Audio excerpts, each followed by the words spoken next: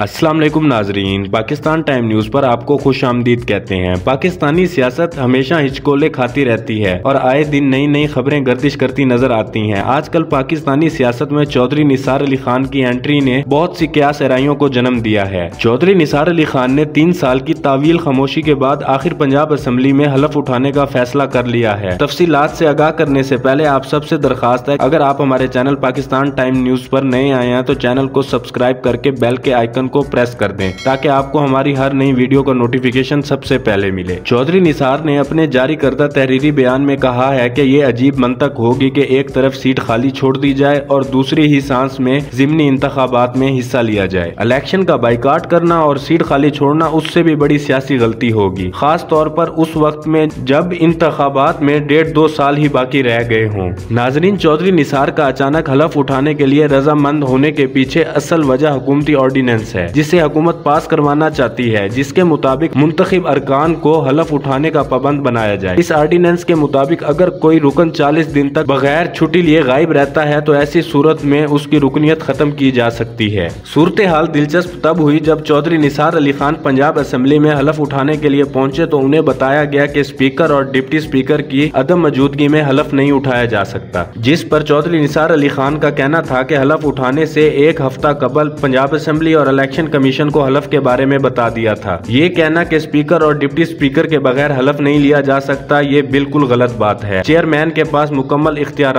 मौजूद होते हैं। नाजरीन चौधरी निसार अली खान शहबाज शरीफ के बहुत गहरे दोस्त समझे जाते हैं। नून लीग से जुदा होने के बावजूद भी ये क्या सराइयाँ मौजूद हैं कि चौधरी निसार अली खान अभी भी शहबाज शरीफ के साथ रबते में हैं। जबकि मरियम नवाज़ से प्रेस कॉन्फ्रेंस के दौरान चौधरी निसार की हलफ बर्दारी के बारे में सवाल किया गया तो उन्होंने इसे गैर मुतल कहकर ये जवाब दिया कि चौधरी निसार का अब मुस्लिम लीग के साथ गुजशत तीन सालों से कोई ताल्लुक नहीं है। वो अपना फैसला खुद करने का इख्तियार रखते हैं। नून लीग का चौधरी निसार के किसी मामले से कोई ताल्लुक नहीं। जबकि शाहिद खकान अब्बासी का भी एक निजी इंटरव्यू में कहना था कि चौधरी निसार उनके बहुत अच्छे दोस्त थे, लेकिन उन्होंने अपने रास्ते पार्टी से खुद जुदा किए। उस दिन के बाद मेरा चौधरी निसार से कोई रबता नहीं हुआ। पंजाब असम्बली के मुख्तलिफ़ अरकान का चौधरी निसार की हलफ बर्दारी के मुतलिक कहना था कि आज उन्हें तीन साल के बाद हल्के की नुमाइंदगी करने का ख्याल आ ही गया। ये एक खुश आइन बात है, जिससे रावल पिंडी के हल्का पीपी यारा के अवाम की नुमाइंदगी मुमकिन हो जाएगी। अब तक की ताज़ा सूरत हाल के मुताबिक चौधरी निसार अली खान हलफ उठाने के लिए लाहौर रवाना हो चुके हैं। लाहौर पहुंचकर पंजाब असम्बली में हलफ उठाएँगे। ये क्या सहराइयाँ भी मौजूद हैं कि चौधरी निसार को वज़ीर अला उस्मान बुजदार के मुतबादिल के तौर पर देखा जा रहा है। नाजरीन, ये क्या सहराइयाँ झूठी या सच्ची हैं, ये तो वक्त ही बताएगा। हम अपने व्यूअर्स को मजीद अपडेट से आगाह करते रहेंगे। वीडियो को लाइक शेयर और चैनल को सब्सक्राइब करना मत भूलिएगा।